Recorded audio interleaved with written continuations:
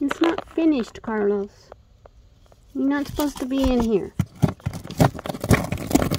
Yeah, that's what I put that there for. All sorts of di different textures for you.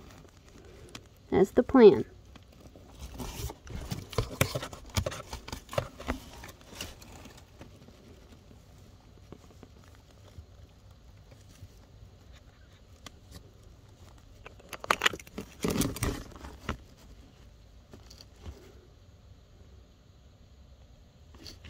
You having fun in there?